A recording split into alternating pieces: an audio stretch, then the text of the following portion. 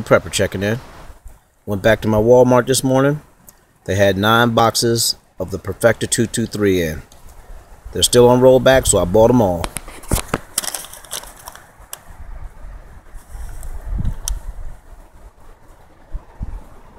All right. Go out there and get yours. If you got it in stock, get it while you can. DD Prepper out.